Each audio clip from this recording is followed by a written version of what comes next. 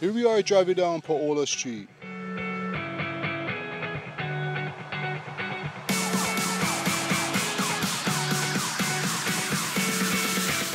Great views of the ocean. Nice cool breezes.